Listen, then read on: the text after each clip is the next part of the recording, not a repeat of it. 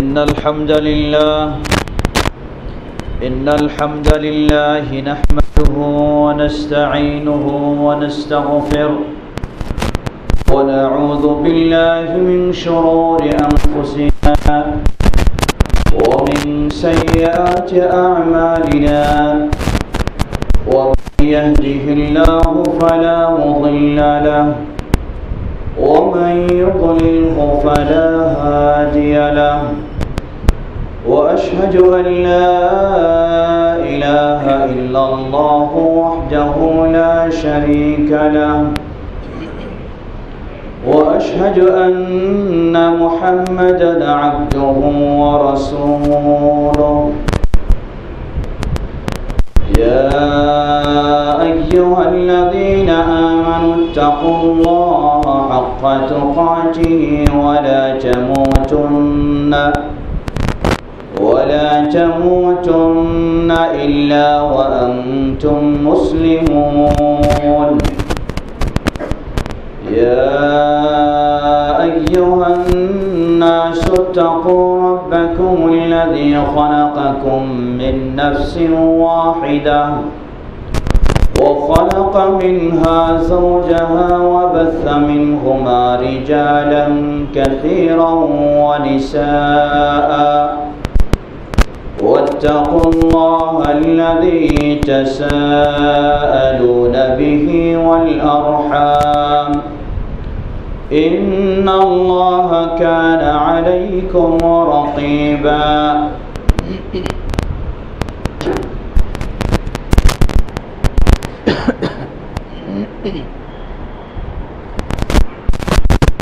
يا أيها الذين آمنوا اتقوا الله وقولوا قولا سديدا.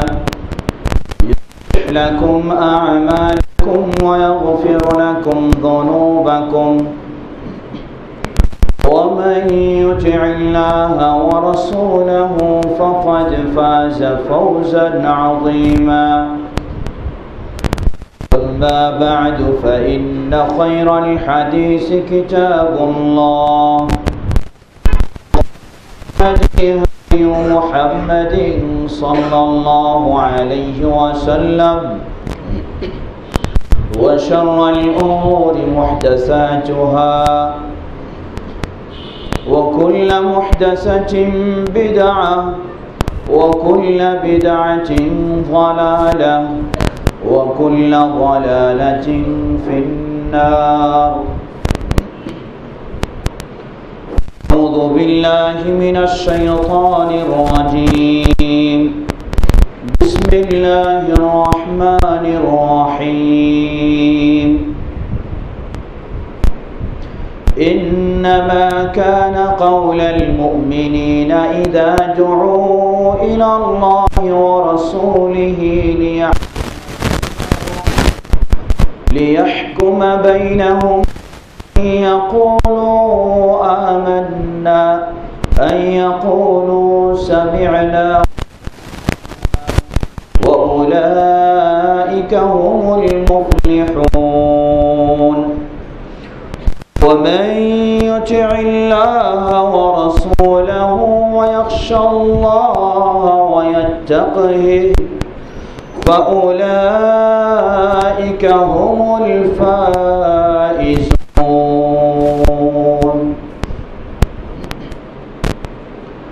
الحمد لله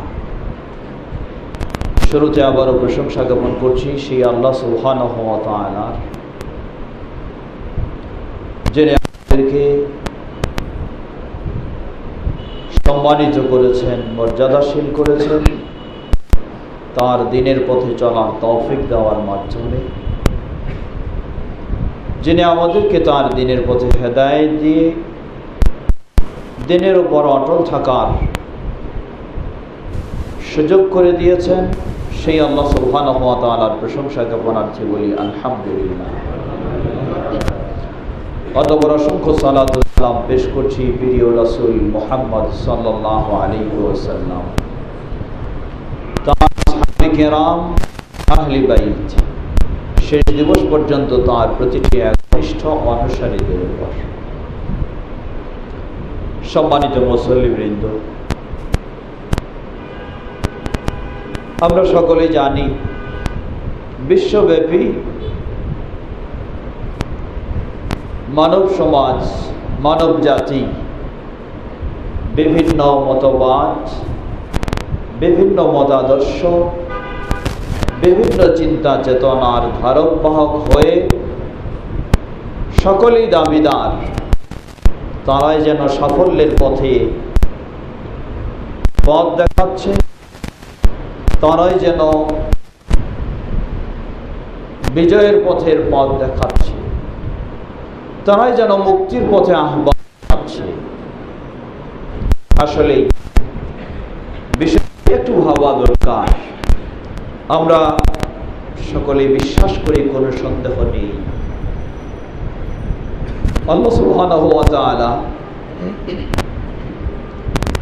মানব জাতির মুক্তির জন্য, সাফল্যের জন্য, দুনিয়া এবং আখেরাতের বিজয়ের জন্য মানব জাতির দিন হিসাবে মনোনয়ন দিয়েছেন ইসলাম।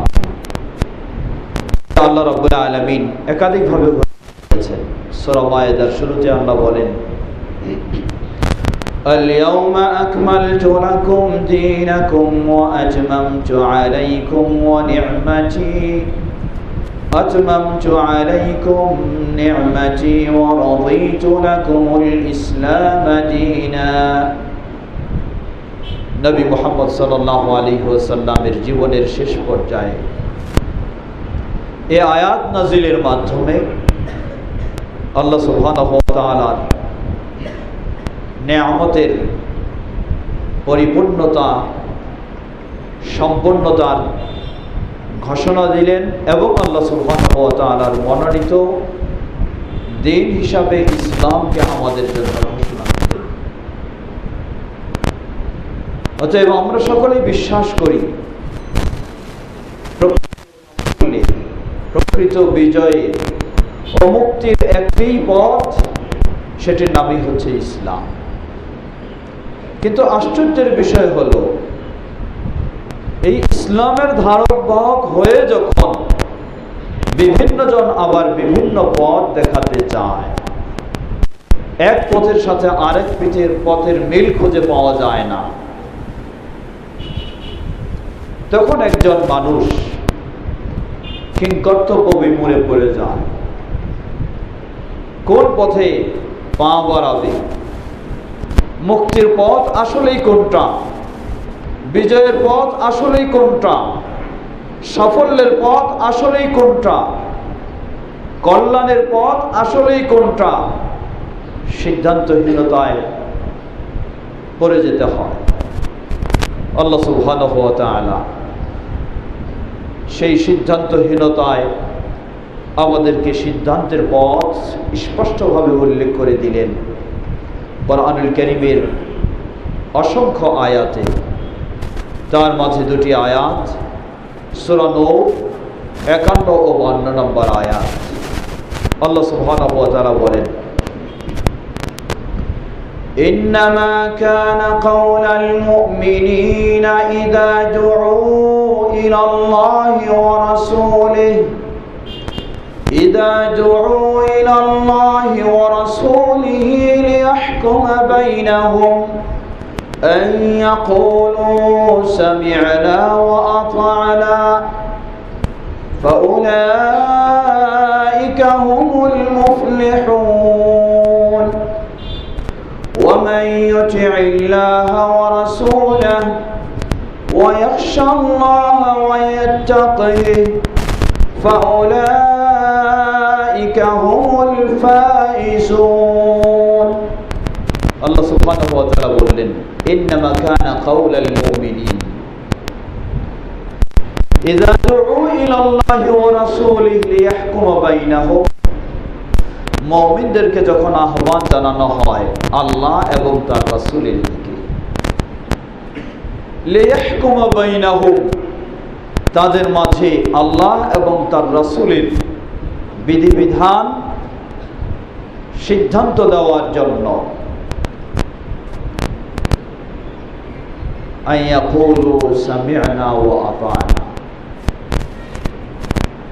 প্রকৃত সফল কাম্য তার জবাব আসবে আতানা শুনলাম মেনে নিলাম। আল্লাহ তালা ঘোষণা দিলেন এইভাবে যারা গ্রহণ করে নেবে এরাই হচ্ছে সফল কাম। সাথে আল্লাহ রাবুল্লাহ আলমিন আরেকটি আয়াতে তাগিদ দিয়ে বললেন, সেই আয়াতের পরে ওমাইয়ুটি ইল্লাহা ওয়া রাসূলা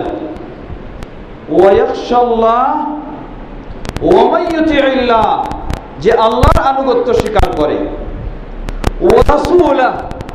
এবং আল্লাহ রাসূলের অনুসরণ করে।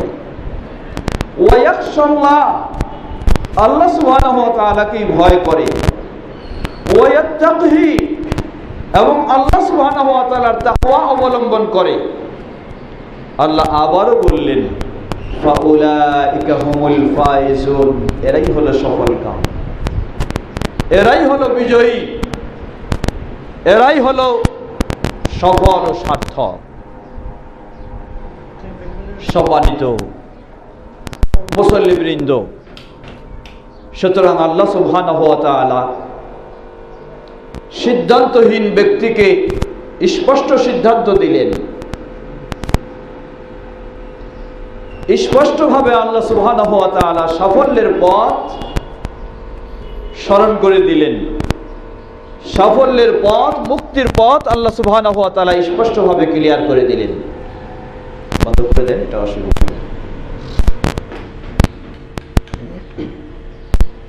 প্রিয় হয় না আমার, এমনই ভাবে আল্লাহ সুবহান আরও বহু জায়গায় স্পষ্ট করলেন। সোরা আহজাব সোরা আহজাবের সত্তর একাত্তর নম্বর আয়াতে আল্লাহ রাবুল আলমিন আবারও কিভাবে আহ্বান জানালেন মহান সাফল্যের পথে আল্লাহ রাবুল আলমিন বলেন يا أيها الذين آمنوا اتقوا الله وقولوا قولا سديدا يصلح لكم أعمالكم ويغفر لكم ذنوبكم ومن يطع الله ورسوله فقد فاز فوزا عظيما الله سبحانه وتعالى আরো স্পষ্টভাবে আহ্বান জানালেন ওহে যারা ইমান এনেছ যারা ইমান এনেছ ইচ্ছাকুল্লাহ আল্লাহকে ভয় করে চলো, আল্লাহকে মেনে চলো।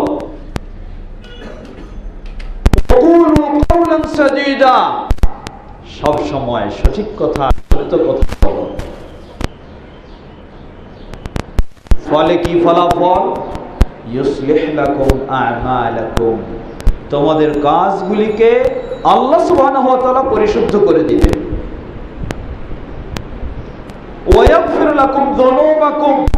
তোমাদের অপরাধগুলিকে আল্লাহ তাআলা ক্ষমা করে দিবেন।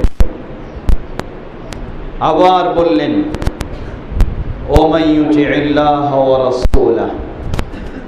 যে তার জীবনটাকে পরিচালনা করবে শুধু আল্লাহর আনুগত্য এবং রাসূলের অনুসরণের মধ্য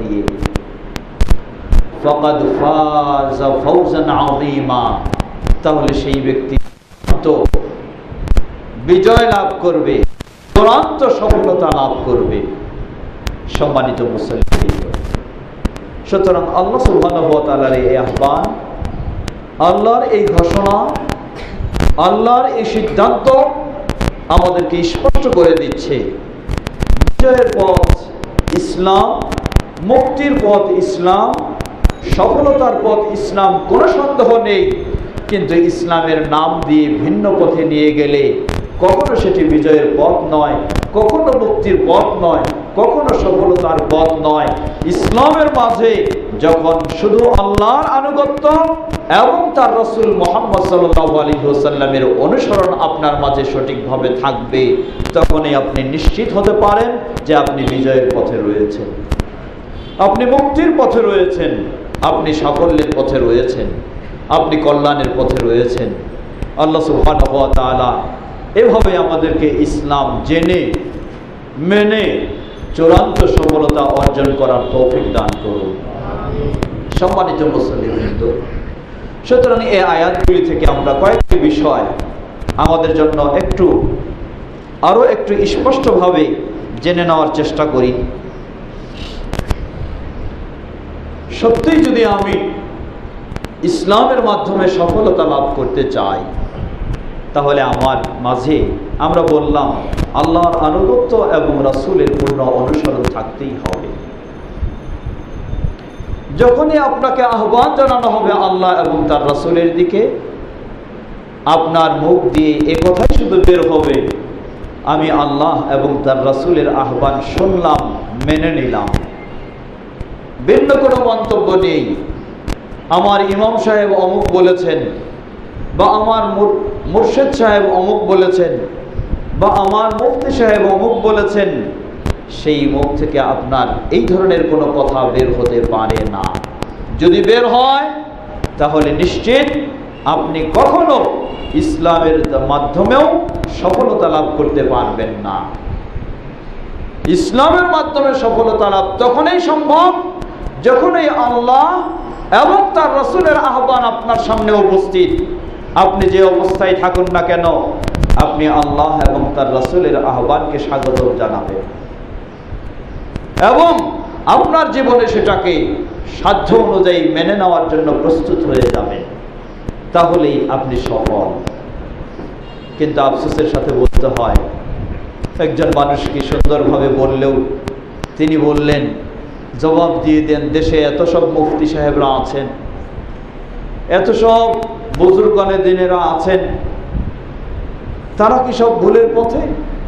যদি এই জবাব আপনার হয়ে থাকে, তাহলে জেনে নিন, আল্লাহ সুবাহর কথা থেকে স্পষ্ট, আপনি কোনোদিন ইসলাম এর ধারক হওয়া সত্ত্বেও সফলতা লাভ করতে পারবেন না, ইনশাআল্লাহ। সফলতা লাভ করতে হলেই কোন গোষ্ঠী, কোন ব্যক্তির দোহাই দেওয়ার সুযোগ নেই। আপনি শুনবেন আল্লাহ এবং তার রসুলের কথা। শুধু এতটুকু নিশ্চিত হবেন যে আসলেই এটি আল্লাহর কথা কি না? আসলেই এটি রসুল সাল্লাহ সাল্লামের কথা কি না? যখনই নিশ্চিত হবেন, তখনই আপনাকে এই সারা দিতেই হবে যে আমি শুনলাম এবং মেনে নিলাম। ভিন্ন কোনো পথ নেই। সম্মানিত মুসলিমবৃন্দ, সুতরাং কয়েকটি গুরুত্বপূর্ণ বিষয় আপনার আমার মাঝে শুনলাম, মেনে নিলাম। এই জবাব দিলে যে বিষয়গুলি থাকতেই হবে, সে বিষয়গুলি অতি স্বল্প সময় আমরা একটু জেনে নেওয়ার চেষ্টা করি।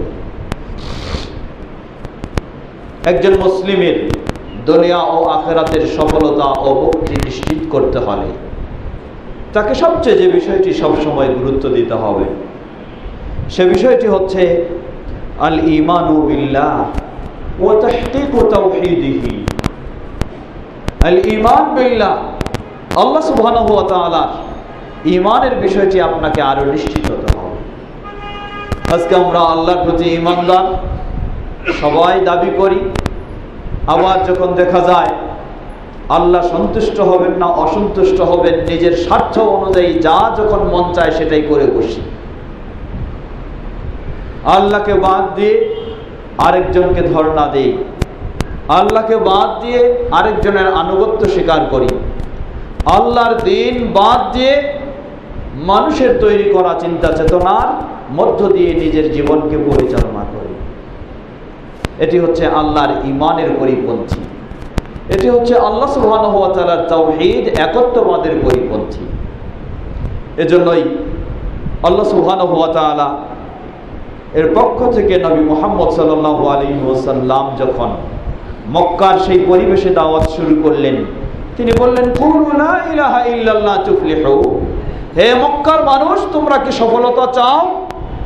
যদি সফলতা চাও তাহলে এই স্লোগান শুরু করো। এই স্লোগান শুরু করো। কোন স্লোগান? লা ইলাহা ইল্লাল্লাহ।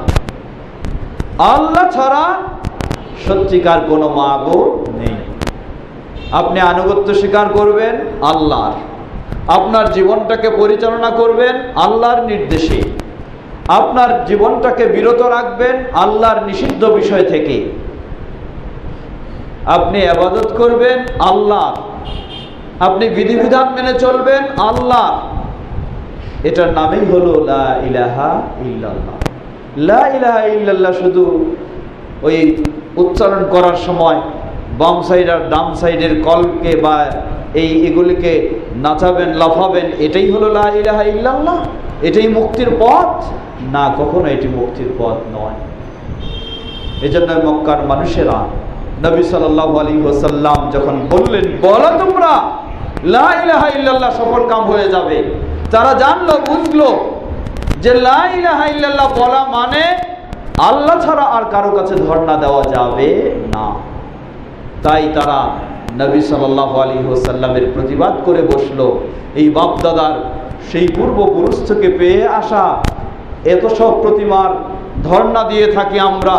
আর আপনি আজকে আমাদেরকে সব অর্জন করার নির্দেশ দিচ্ছেন লা ইলাহা ইল্লাল্লাহর মাধ্যমে। হতে পারে না। আল্লাহ তাআলা নবী সাল্লাহ আলাইহি ওয়াসাল্লামকে শুধু নয়, পূর্ববর্তী যত নবী রাসূল, তাদেরকেও এভাবে আল্লাহ নির্দেশনা দিলেন। লা ইলাহা ইল্লাল্লাহ বলা মানে সকল প্রকার শের থেকে আপনাকে অবশ্যই বিরত থাকতে হবে। সকল প্রকার শের থেকে যদি আপনি বিরত থাকতে না পারেন, তাহলে আপনার লা ইলাহা ইল্লাল্লাহ কখনো ঠিক থাকবে না। শেরকে লিপ্ত হওয়া মানেই হলো লা ইলাহা ইল্লাল্লাহকে দাফন করা। শেরকে লিপ্ত হওয়া মানেই হলো লা ইলাহা ইল্লাল্লাহকে নাকচ ঘোষণা করে দেওয়া। আর লা ইলাহা ইল্লাল্লাহকে ধারণ করা মানেই হলো শেরকে নাকচ ঘোষণা করা, শেরকে দাফন করা। সুতরাং লা ইলাহা ইল্লাল্লাহর পরিপন্থী হচ্ছে শির। আপনি যখন এই লা ইলাহা ইল্লাল্লাহর ধারণবাহক হবেন, তখনই আপনি সফল হবেন। আর যখনই আপনি শেরকে লিপ্ত হবেন তখনই আপনি ক্ষতিগ্রস্ত হবেন দুনিয়াতে ক্ষতিগ্রস্ত হবেন আখেরাতে এজন্যই আল্লাহ সুবহানাহু ওয়া তাআলা বলেন সূরা জুমার 65 নম্বর আয়াত ولقد أوحي إليك وإلى الذين من قبلك لئن أشركت ليحبطن عملك ولتكونن من الخاسرين হে নবী জেনে রাখো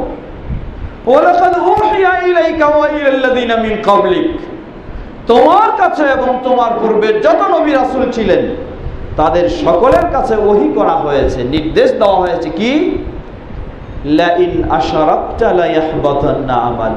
যদি শিরকে লিপ্ত হয়ে যাও, তাহলে তোমার জীবনের সব ভালো কাজগুলি একেবারে বরবাদ হয়ে যাবে। জেনে রাখো কোনো সন্দেহ নেই, অবশ্যই তুমি ক্ষতিগ্রস্তদের হয়ে যাবে। সুতরাং সফলতার পথ হলো ইলাহা ইল্লাল্লাহ, আর ক্ষতিগ্রস্তের পথ হলো আল্লাহর সাথে শেরকে লিপ্ত হওয়া। আপনি যেই ইসলাম পালন করবেন মুক্তির জন্য সেই ইসলামের মূল বিষয় থাকতে হবে এই তাওহীদ, লা ইলাহা ইল্লাল্লাহ এবং শের মুক্ত হওয়া। না হলে কখনোই এই ইসলাম দিয়ে বা আপনার ইসলাম দিয়ে দুনিয়া ও আখেরাতের সফলতা অর্জন করা সম্ভব হবে না। এজন্যই আহলুল হাদিস যারা, তাদের সব সময় এটাই আহ্বান, এটাই হলো তাদের মূল দাওয়াত। যেই মূল দাওয়াত হচ্ছে সকল নবী রাসূলদের দাওয়াত।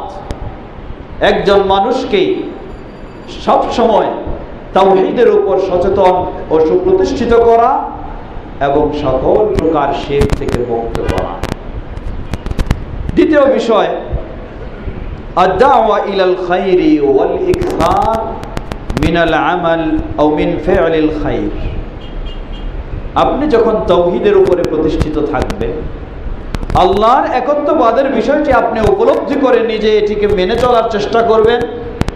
শেখ বুঝে সেটা থেকে বিরত হবেন।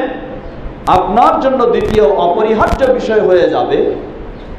আপনার বন্ধুকে আপনার প্রতিবেশীকে আপনার জীবন সঙ্গিনীকে আপনার পরিবারের সদস্যকে আপনার সমাজের সদস্যকে সকলকে এই সুন্দর সাফল্যের পথ তাদেরকেও জানিয়ে দেওয়া তাদেরকেও এ পথেই আহ্বান জানানো এই জন্য আল্লাহ সুবহানাহু ওয়া তাআলা বলেন সূরা আলে ইমরান 104 নম্বর আয়াত ولتكن منكم أمة يدعون إلى الخير ويأمرون بالمعروف وينهون عن المنكر وأولئك هم المفلحون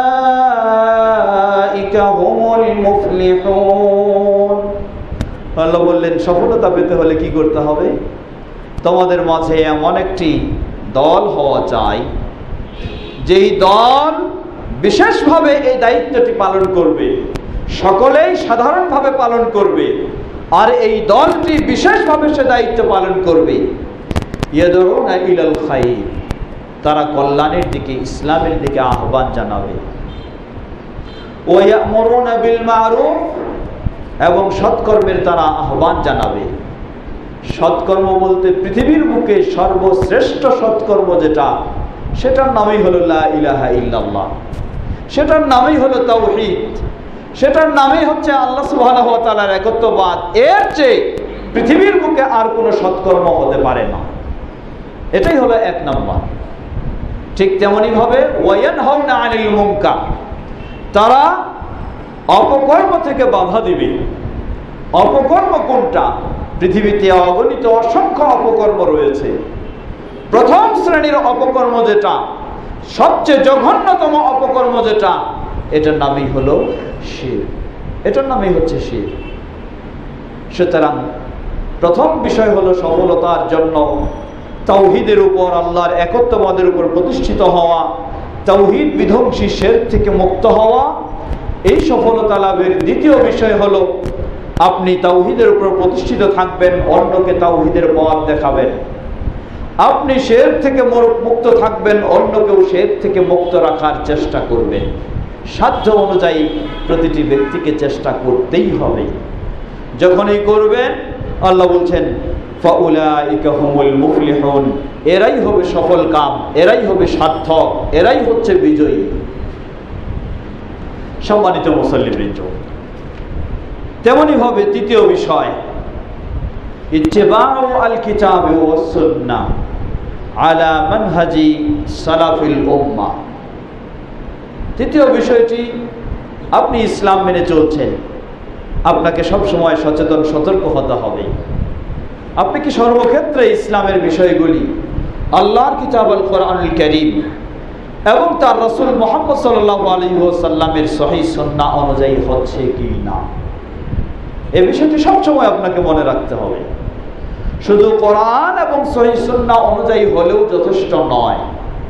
আরেকটি বিষয় আপনাকে সচেতনতার সাথে মনে রাখতে হবে যে কোরআন এবং সহি হাদিসকে যেভাবে সাহাবাইকে রামগণ উপলব্ধি করেছেন, বুঝেছেন, গ্রহণ করেছেন, আপনি সেভাবে আছেন কি না?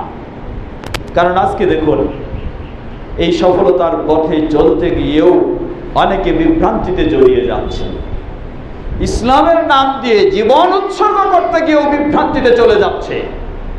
কারণটা কি? কারণ হলো এটাই, তিনি কোরআনের ধারক বাহক বলে দাবি করেন বটে। রসুলের সন্ন্যার ধারক বাহক বলে দাবি করেন বটে। কিন্তু কোরআন এবং সন্নাকে যেভাবে রসুল সাল্লাহ আলী ওসাল্লামের সাহাবাই কেরামগণ উপলব্ধি করেছেন ও মেনে চলেছেন, ঠিক হুবহু সেই উপলব্ধি ও মেনে চলাটা তার মাঝে না থাকার কারণে হয়তো অতি উৎসাহী হয়ে, আবেগী হয়ে সীমালঙ্ঘন করে তিনি ভালো পথে চলতে গিয়েও খারাপ পথে চলে গেছেন। এজন্য এই বিষয়টি অত্যন্ত একটি গুরুত্বপূর্ণ বিষয়। সফলতা নিশ্চিতের জন্য আপনাকে অবশ্যই প্রতিটি ইসলামের প্রতিটি কাজের ক্ষেত্রে মনে রাখতে হবে, আপনি এই তিনটি বিষয়ের মাঝে আছেন কিনা? প্রথম হলো আল্লাহর কিতাব আল কোরআনুল করিম, দ্বিতীয় হলো নবী মোহাম্মদ সাল্লাহ ইসলামের সহি হাদিস, তৃতীয় হলো মোহাম্মদ সাল্লাহ আলী সাল্লামের সাহাবাই কেরামগণ এই দুটিকে যেভাবে উপলব্ধি করেছেন এবং মেনে চলার চেষ্টা করেছেন, সেই সীমারেখার আলোকে আপনাকে উপলব্ধি করতে হবে ও মেনে চলতে হবে। না হলে কি দাঁড়াতে পারে? আমিরুল মুমিনিন, খলিফাতুল ইসলাম, আলী উবনা আবি তালেব রদিয়াল্লাহ আনহু, মুসলিম সমাজের মুসলিম উম্মার খলিফা তিনি। অত্যন্ত দিনদার, ধার্মিক মানুষ হিসাবে দাবি করে আলী রাজি আল্লাহকে হত্যা করল। হত্যা করার পর সে দাবি করতেছে, তাকে যখন হত্যার বিনিময়ে হত্যার সিদ্ধান্ত হলো, সে ব্যক্তি তখন দাবি করে যে আমি চাই জীবনের শেষ মুহূর্তটি পর্যন্ত আমার জিহব্বা যেন আল্লাহর দিকের ব্যস্ত থাকে, সুতরাং আমার সব অঙ্গে আঘাত করো কোনো অসুবিধা নেই, আমার জিহব্বায় তোমরা আঘাত করো কি আশ্চর্য বিষয় দেখুন। আমিরুল মুমিনিন, মুসলিমদের খলিফা, ইমাম, তাকে যে হত্যা করে, আবার সে নিজের দিনের ধর্মের কি ধরনের গুরুত্ব দিতে চায়? কারণটা কি? কারণ হলো ওই ব্যক্তি যে আলী রদি আল্লাহকে হত্যা করে, আবার নিজেকে ভালো মুসলিম বলে দাবি করে, সে কোরআন হাদিস নিয়েছিল বটে। কিন্তু সাহাবাই কেরামগঞ্জ যেভাবে কোরআন হাদিসকে বুঝেছিলেন, সেইভাবে তার বুঝটি ছিল না। যার কারণে কোরআন হাদিসের ধারক বাহক দাবি করা সত্ত্বেও আবার মুসলিমদের যিনি নেতা, আমিরুল মুমিনিন যিনি, তাকে হত্যা করার পরেও সে নিজের আবার দিন ধর্মের দাবি করে থাকে। সুতরাং ইসলাম আবেগের নাম নয়। আপনি কোরআন হাদিস নেবেন, নিজের ইচ্ছা মতো ব্যবহার করবেন এটি কখনো সফলতার পথ হতে পারে না। এটাই হলো আহলুল হাদিসদের আহ্বান। এটাই হলো আহলুসুল্লাহ বা সালাফদের। এটাই হচ্ছে দাওয়াত। আপনাকে বুঝতে হবে একটু। শুধু আবেগী হয়ে আপনি সফলতার পথে জীবন উৎসর্গ করে দিবেন, সফলতা পেয়ে যাবেন, এমনটি আশা করার সুযোগ নেই। প্রিয় ভাইরা আমার, ঠিক তেমনইভাবে আমাদেরকে আরও যে বিষয়গুলি লক্ষ্য রাখতে হবে। সেগুলির মাঝে উল্লেখযোগ্য হলো আল মুহাফাদা আলা ফরাইদুল ইসলাম আল ইদাম ওয়া শাআইরিহি আদ-দাহিরা। একজন মুসলিম, আপনি বলেন যে আমার অন্তরে ইমান ঠিক আছে। অন্তরে ইমান ঠিক থাকলেই যথেষ্ট নয়। আপনার অন্তরে ইমান ঠিক আছে কি না? এর বাহ্যিক কিছু বহিঃপ্রকাশও অবশ্যই থাকতে হবে।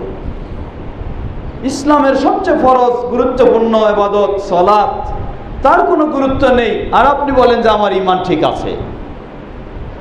ইসলামের ফরজ জাকাত তার কোনো গুরুত্ব নেই। আর বলেন আমার ইমান ঠিক আছে। আমি ইসলামপন্থী, আমি ইমান মানি ইসলামের গুরুত্বপূর্ণ ফরজ হেজাব, মেয়েদের, নারীদের জন্য হেজাব। সেটার কোনো গুরুত্ব নেই। আর বলেন, আমার ইসলাম ঠিক আছে। আমার ইমান ঠিক আছে। কীভাবে ইমান আপনার ঠিক?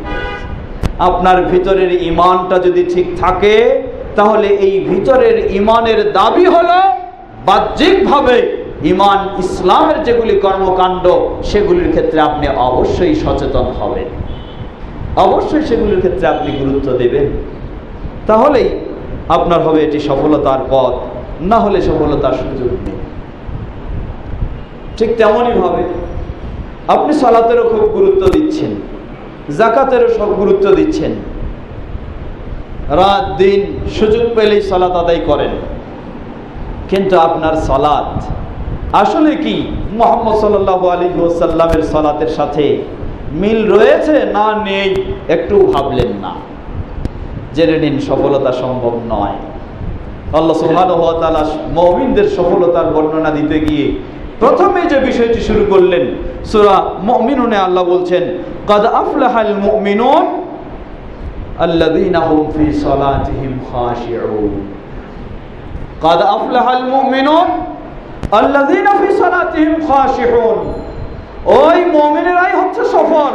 কোন মুমিনেরা? যাদের যারা তাদের সালাতে অত্যন্ত বিনয়ী, নম্র, একাগ্রতার সাথে আল্লাহকে সন্তুষ্ট করার লক্ষ্যেই সালাত আদায় করছে। আমার সালাত আদায় করার এই সময় নাই। চলছে আমার ব্যবসা, চলছে আমার অফিস, চলছে আমার কাজকর্ম। মসজিদে যাওয়ারই আমার সময় নাই। আর দাবি করে বসছি, আমি হলাম সফল মমি আমি সফলতা লাভ করব এত সহজ নয়।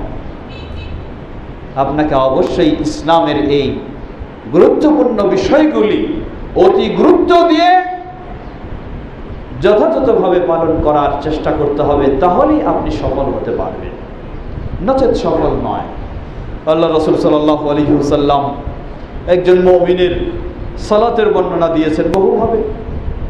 আল্লাহ বললেন, ওই মমিনেরা সফল যারা তাদের সালাতে অত্যন্ত বিনয়ী, একাগ্রতার সাথে সুন্দরভাবে সালাদ আদায় করে। আবার রসুল সাল্লাহ আলী সাল্লাম সালাতের বর্ণনা দিলেন মোনাফেকের সালাদ আল্লাহ সালাতের বর্ণনা দিয়েছেন করণ কারিমে মোনাফেকের সালাদ সালাতে আসে দাঁড়াবে। মনে হয় না যে তার গায়ে কিছু লাগতেছে না যে আসলে কথায় দাঁড়াল, না দাঁড়াল। কোনো যেন গুরুত্ব নেই, কোনো যেন ভ্রুক্ষেপ নেই। এমন সালাদ চব্বিশ ঘন্টাও যদি এই সালাদ নিয়ে ব্যস্ত থাকেন, এই সালাদ দিয়ে কখনো কোনো মুসলিমের সফল হওয়া সম্ভব হবে না। সফল হতে হলে, বিজয়ী হতে হলে সার্থক হতে হলে আপনার সালাত হতে হবে। সেই ধরনের সেই পদ্ধতিতে যা শিক্ষা দিয়েছেন নবী মুহাম্মদ সাল্লাহ আলী ওসাল্লাম সম্মানিত মুসল্লিবৃন্দ খুদবার সময় সীমাবদ্ধ। তাই আসুন, আমরা চেষ্টা করব। কোনো সন্দেহ নেই, আমরা সকলেই সাফল্যের পথ অনুসন্ধান করছি। আমরা সকলেই মুক্তি চাই, আমরা সকলেই সফলতা লাভ করতে চাই। কিন্তু অনেক সময় আমাদের পদক্ষেপ গ্রহণে ভুল হয়ে যায়। তাই আরবিতে একটি প্রবাদ বাক্যে বলা হয়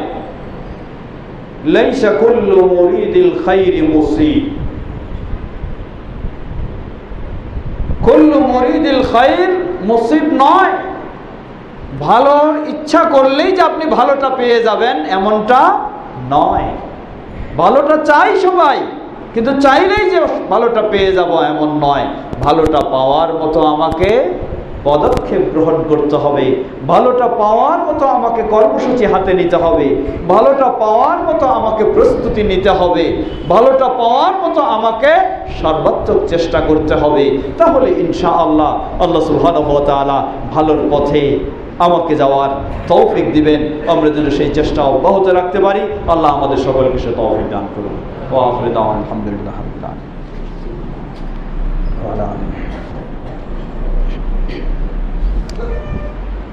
আলহামদুলিল্লাহ। ওসলাত ওসালাম আবদুল্লাহ ও রসুলহি মোহাম্মদ আলা আলী ও সাহাবি আজমাইন। সফলতা লাভের আরও কতগুলি গুরুত্বপূর্ণ দিক। মানুষ। মানুষ এমন একটি সৃষ্টিজীব যদিও কেউ চাই যে আমি কখনো ভুল করব না, কিন্তু এরপরও আমার ভুল হয়ে যায়। আমি চাই কখনো ভুল করব না, এরপরও ভুল হয়ে যায়। চাই কখনো অন্যায় করব না, এরপরও অন্যায় হয়ে যায়। চাই কখনো ত্রুটি করব না, এরপরও ত্রুটি হয়ে যায়। এজন্য সফলতার একটি গুরুত্বপূর্ণ দিক হলো আত্মাউবা ইলাল্লাহ ও ইস্তেগফার আল্লাহ সুবহানাহু ওয়া তাআলার কাছে সত্যিকারীভাবে তওবা করা আল্লাহ সুবহানাহু ওয়া তাআলার কাছে সঠিকভাবে ক্ষমা চাওয়া আল্লাহ রাব্বুল আলামিন বলেন وتوبوا إلى الله جميعا أيها المؤمنون لعلكم تفلحون আল্লাহ বলেন উভয় মুমিনেরা তোমরা সকলে আল্লাহর কাছে ফিরে আসো। আল্লাহর পথে ফিরে আসো। আল্লাহর কাছে তওবা করো। লাআল্লাকুম তুফলিহুন, আশা করা যায় তোমরা তোমাদের তওবার মাধ্যমে তোমরা সফল হতে পারবে। মানুষ সফলতার পথে চলছে। এরপরেও শয়তানের প্ররোচনায় ত্রুটিতে জড়িয়ে যায়। তখন হয়তো আমি ভাবি আর মনে হয় আমার কোনো সফলতার পথ নেই। আমি ব্যর্থ হয়ে গেলাম। আল্লাহ সুবহানাহু ওয়া বলছেন, না, নিরাশ হওয়ার কিছুই নেই। হীনবল হওয়ার কিছুই নেই।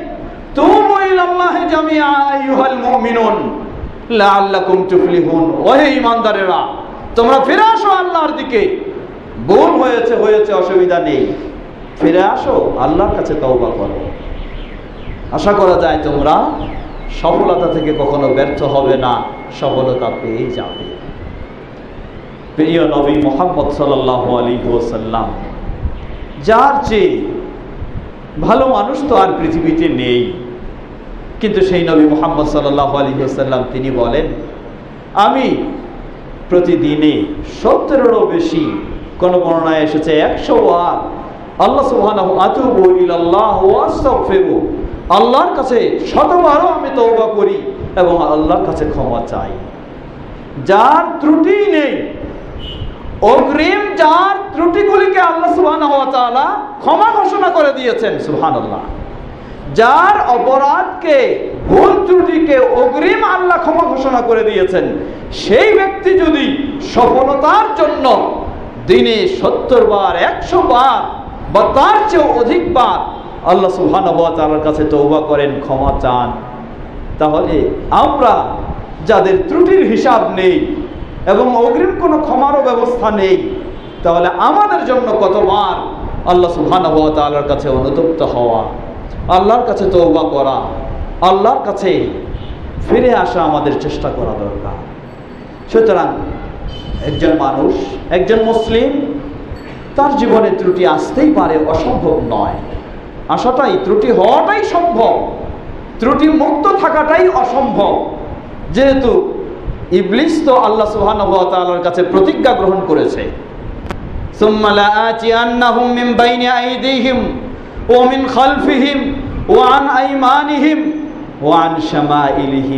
আল্লাহর কাছে ইবলিস প্রতিজ্ঞা গ্রহণ করেছে, হে আল্লাহ, আমি তোমার সরল সঠিক পথে আমি শক্ত করে বসে থাকব যেন তোমার বান্দারা এই পথে চলতে না পারে। তারা যেন বিপথে চলে যায়। বিপথে চলে গেলেও, বাঁকা পথে চললেও, আবার যদি কোনোদিন সরল পথে আসার চেষ্টা করে, আমি এরপরেও তার সামনের দিকে আসব, পিছনের দিকে আসব, ডান দিকে আসব, বাম দিকে আসব, চতুর্দিক থেকে তাকে আক্রমণ করে বিপথে নেওয়ার আমি চেষ্টা করব, যেন সে কোনোদিন সফল হতে না পারে। আল্লাহ ওয়া তিনি হলেন বান্দার প্রতি অত্যন্ত দয়াশীল। গফুর রহিম। তিনি হলেন ক্ষমাশীল, তিনি হলেন দয়াশীল। তাই তার ইমানদার বান্দাদেরকে আল্লাহ ডেকে বলছেন হে মুমিনেরা, তোমরা ফিরে আসো তৌবা করো আল্লাহর কাছে। লাআল্লাকুম তুফলিহুন। শয়তান তোমাদেরকে যতই বিপথে নেওয়ার চেষ্টা করুক না কেন, যদি তোমরা সত্যিকারীভাবে তৌবা করার চেষ্টা করো, আশা করা যায় তোমরা সফল হবেই হবে ইনশাআল্লাহ। সুতরাং মানুষ মাত্রই ত্রুটি হবে। মোহাম্মদ সাল্লাহ আলী হোসাল্লামের সন্না অনুযায়ী আমাদের কর্তব্য হলো সফলতা লাভের জন্য আমাদের সব সময় সেই সঠিকভাবে তৌবা করার চেষ্টা করতে হবে। সঠিকভাবে তৌবা এটি আমরা অনেক সময় বলে থাকি। এর অর্থ এই নয় যে কোনো পীর সাহেবের কাছে গিয়ে, কোনো খতিব সাহেবের কাছে গিয়ে হাতে হাত রেখে বা কিছু বকশিস দিয়ে আপনাকে তৌবা করতে হবে। ইসলামে এমন কোনো তৌবার নিয়ম নেই। এটি হলো পীর সাহেবদের বা সেই ইমাম সাহেবদের পকেট ভরার নিয়ম। এটি ইসলামের কোনো তৌবার নিয়ম নয়। আপনি তৌবা আপনার ঘরে বসেই করবেন। বাইরে যাওয়ার প্রয়োজন নেই। শুধু তৌবার কতগুলি মৌলিক বিষয় লক্ষ্য রাখবেন। তৌবা শব্দের অর্থ হলো ফিরে আসা। আপনি যে ত্রুটিতে ছিলেন, সেই ত্রুটি থেকে আপনাকে মুক্ত হতেই হবে। ফিরে আসতেই হবে। না হলে এটি কোনো তৌবা নয়। এটি হলো প্রথম শর্ত। দ্বিতীয় শর্ত, আপনি আল্লাহর কাছে অন্যায় করে বসেছেন। সুতরাং আল্লাহর কাছে অনুতপ্ত হতে হবে, অনুশোচনা করতে হবে। তৃতীয় শর্ত, আপনার এই প্রতিজ্ঞা থাকতে হবে, ভবিষ্যতে পারতপক্ষে আবার এই অন্যায় আপনি জড়িয়ে যাবেন না। চতুর্থ শর্ত, আপনার এই সবগুলি হতে হবে শুধু আল্লাহকে সন্তুষ্ট করার জন্য। আল্লাহ রাব্বুল আলামিন বলেন, ইয়া আইয়ুহাল্লাযীনা আমানু তুবু ইলাল্লাহি তাওবাতান নাসুহা আসা রাব্বুকুম আন ইউকাফিরা আন সাইয়্যাতিকুম ওয়ায়ুদখিলাকুম জান্নাতিন তাজরি আনহার ওহে যারা ঈমান এনেছো, তোমরা সত্যিকারী ভাবে করো। যদি তোমরা সত্যিকারী ভাবে করো, জেনে রাখো, তোমাদের রব তোমাদের অপরাধগুলিকে ক্ষমা করে দিবেন এবং তোমাদেরকে একাধিক জান্নাতে তোমাদেরকে স্থান করে দিবেন। আল্লাহ ওয়া যেন অপেক্ষা করছেন, তার বান্দা কখন আল্লাহর কাছে তৌবা করবে? কখন আল্লাহর কাছে সত্যিকারী ভাবে তৌবা করবে?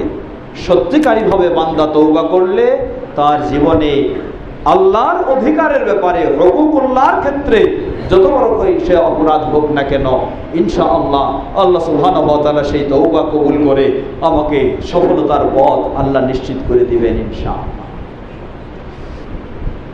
তেমনইভাবে সফল হতে হলে আমাদেরকে সব সময় মনে রাখতে হবে ভালো কাজগুলিও যেমন করব খারাপ যেগুলি সেগুলি থেকে সব সময় বিরত থাকতেই হবে আল্লাহ রাবুল আলমিন বিভিন্নভাবে নির্দেশনা দিয়েছেন আল্লাহ বলেন يا أيها الذين آمنوا إنما الخمر والميسر والأنصاب والأزلام رجس من عمل الشيطان فاجتنبوه لعلكم تفلحون সুরো মায়েদা নব্বই নম্বর আয়াতে আল্লাহ রাবুল আলমিন সফলতার আরেকটি পথ বললেন ওহে যারা ইমান এনেছো জেনে রাখো মদ জোয়া যত রকমের এই ধরনের কর্মকাণ্ড রয়েছে প্রতিমা আজকে আমাদের সমাজ, আমাদের কালচার হয়ে গেছে যে কোনো দিবস পালন।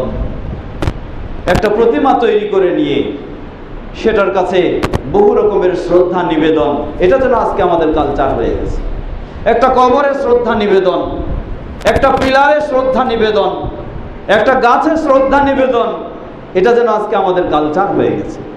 আল্লাহ সুবহান হতালা এটাই বললেন, ওয়াল আনসাব ওয়াল আজসাব ওয়াল আজলাম। ওয়াল আনসাব এই ধরনের যতগুলির কাছে শ্রদ্ধা নিবেদন করা হয়, সবগুলি এগুলি আনসাবের অন্তর্ভুক্ত। আল্লাহ বলছেন রেজসুম মিন আমালি শয়তান। এগুলি সব হলো শয়তানের কাজ।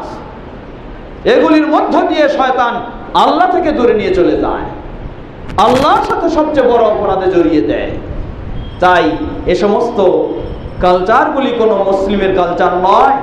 এগুলি অমুসলিমদের কালচার এগুলি মুশ্রেকদের কালচার এগুলি বিভিন্ন পূজারীদের কালচার আল্লাহর যে আবাদত করবে, আল্লাহর দাসত্ব করবে, তার কালচার এগুলি হতে পারে না। আল্লাহ সুবহান বলছে যে এগুলি সবই হলো শয়তানের কাজ এবং এগুলি সবই নকরা সবাই অনর্থক, এগুলির পিছনে কোনো কল্যাণ নাই। একটা মানুষ মারা গেছে, তাকে আপনি ফুল দিয়ে শ্রদ্ধা নিবেদন করে তার কি উপকার করতে পারবেন? কি কাজে তার আসবে? না তার কাজে আসবে, না আপনার কাজে আসবে, না জাতির কাজে আসবে, না কার কাজে আসবে? অনার্থক এটা। এটি এটি শয়তানি তামাশা ছাড়া আর কিছুই নয়। কাজে আসবে, ওই অর্থগুলি যদি জাতির জন্য ব্যয় করা হয়, কাজে আসবে। ওই অর্থগুলি যদি আপনি নিজের জন্য ব্যয় করেন, কাজে আসবে। ওই অর্থগুলি যদি ওই মৃত ব্যক্তির পক্ষ থেকে সৎকায় জারিয়ামূলক আপনি দান করার ব্যবস্থা করেন, কাজে আসবে। কিন্তু এইভাবে এই সব কিছু দিয়ে আল্লাহ বলছেন রেজসুমিন আমালি শয়তান। এগুলি সব শয়তানের কাজ। কোনো মুসলিমের কাজ নয়, কোনো মমিনের কাজ নয়। যদি সত্যি আপনি মুসলিম হন, মমিন হন, আপনার কাজ কোনোদিন এগুলি হতে পারে না। আল্লাহ বলছেন ফার্স্ট এই সবগুলিকে একেবারে বর্জন করো, বিরত হয়ে যাও। লাল্লাকুম তুফলিহুন। তাহলে আশা করা যায় তোমরা সফল হবে। আর যদি এগুলি থেকে বিরত না হও, তাহলে কোনোদিন সফলতার মুখ দেখা সম্ভব নয়।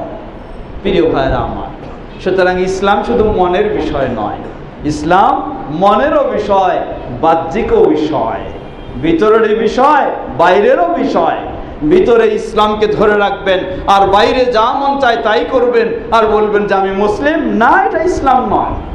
ইসলাম আপনার ভিতরেরও বিষয়, ইসলাম আপনার বাইরেরও বিষয়। সুতরাং সফলতা লাভের জন্য এ সমস্ত ইসলাম গর্হিত শয়তানি কর্মকাণ্ড আপনাকে অবশ্যই বর্জন করতে হবে, সেগুলি থেকে আপনাকে সব সময় অবশ্যই বিরত থাকতে হবে। কথা দীর্ঘ করার সুযোগ নেই, আবারও ফিরে আসছি। আমরা আজকে কষ্ট করে ইসলাম লালন করছি, ইসলাম পালন করছি, একটি আমাদের লক্ষ্য উদ্দেশ্য আমরা যেন সফল হতে পারি। আমরা যেন সার্থক হতে পারি। আমরা যেন দুনিয়া ও আখেরাতে মুক্তির পথ পেতে পারি। সেই মুক্তির পথ এমনি পাওয়া সম্ভব নয়। যার মৌলিক কিছু বিষয় আমরা উল্লেখ করলাম, সেগুলির মাঝে মূল বিষয় হচ্ছে আপনাকে আল্লাহ এবং তার রসুলের নির্দেশিত পথেই চলতে হবে। আপনাকে তাওহিদের উপর প্রতিষ্ঠিত হতে হবে, শের থেকে মুক্ত হতে হবে, আপনাকে সুন্নার উপর প্রতিষ্ঠিত হতে হবে বিদা থেকে মুক্ত হতে হবে। আপনাকে যত রকমের ইসলাম বিরোধী কালচার রয়েছে, সেগুলিকে বর্জন করতে হবে এবং ইসলামের সঠিক পথেই আপনার জীবনটাকে গড়ে তোলার চেষ্টা করতে হবে। কোনো ব্যক্তির মন করা ইসলাম নয়, সেটি হবে কোরআন ও সহি হাদিসের ইসলাম। তাহলেই ইনশা আল্লাহ মুক্তির আমরা আশা করতে পারি। আল্লাহ আমাদের সকলকে সে পথেই অগ্রসর হওয়ার তৌফিক দান করুন। এটাই আহলুল হাদিসদের আহ্বান। এটাই আহলুল হাদিসদের দাওয়াত। এটাই বাংলাদেশ জমিয়তে আহলুল হাদিসের দাওয়াত। ভিন্ন কোনো দাওয়াত নয়, ভিন্ন কোনো আহ্বান নয়। আমরা যেন সঠিক বিষয়টিকে উপলব্ধি করে সঠিক পথেই পদক্ষেপ গ্রহণ করতে পারি আল্লাহ আমাদের জন্য বিষয়টি সহজ করে দিন عباد الله رحمكم الله إن الله قد أمركم أن تصلوا على نبيكم وقد بدأ بنفسه فقال إن الله وملائكته يصلون على النبي يا أيها الذين آمنوا صلوا عليه وسلموا تسليما اللهم صل على محمد وعلى آل محمد كما صليت على إبراهيم وعلى آل إبراهيم إنك حميد مجيد اللهم بارك على محمد وعلى آل محمد كما باركت على إبراهيم وعلى آل إبراهيم إنك حميد مجيد اللهم ارض عن الخلفاء الراشدين وعن سائر أصحاب نبيك الكريم اللهم أعز الإسلام والمسلمين واخذل الكفرة والمشركين ودمر ديارهم এ আল্লাহ আমাদের দেশ সহ পৃথিবীর সর্বত্র ইসলাম ও মুসলিমদেরকে সমন্বিত করুন পৃথিবীর সর্বত্র নির্যাতিত নিষ্পেষিত মাজলুম মুসলিমদেরকে মুক্তির পথ তাদেরকে বের করে দিন তাদেরকে মুক্তির পথে বের হয়ে আসার তৌফিক দান করুন। তাদেরকে ইমান ইসলামের উপর ধৈর্য ধারণ করার তৌফিক দান করুন। গোটা মুসলিম উম্মাকে তাদের মুক্তির পথে এগিয়ে আসার তৌফিক দান করুন। আমাদের দেশেও সর্বস্তরের মানুষদেরকে ইসলামের পথে হেদায়ত দান করুন। সঠিক ইসলাম যেন আমরা জেনে মেনে চলতে পারি, আল্লাহ আমাদের সকলকে সে তৌফিক দান করুন। আমাদের মাঝে উপস্থিত অনুপস্থিত যারা অসুস্থ রয়েছেন আল্লাহ সকল সেই অসুস্থদেরকে পরিপূর্ণ সুস্থতা দান করুন। যারা বিদায় নিয়ে চলে গেছেন, সেই মুসলিমদের ভুল ত্রুটি ক্ষমা করে আল্লাহ তাদেরকে জান্নাতুল ফেরদাউস নসিব করুন। আর আমরা যেন গোটা জীবন সত্যি সঠিক মুক্তির পথে থাকতে পারি, সঠিক সফলতার পথে থাকতে পারি, আল্লাহ আমাদের জন্য সে তৌফিক দান করুন। এবং ইমানের সাথে আমাদের বিদায় হয়, আল্লাহ আমাদের জন্য সেটি কবুল করে নিন। আমাদের সন্তানদেরকেও যেন সেই আলোকে আমরা গড়ে তুলতে পারি আল্লাহ আমাদের সকলকে সে তৌফিক দান করুন سبحانك اللهم وبحمدك أشهد أن لا إله إلا أنت أستغفرك وأتوب إليك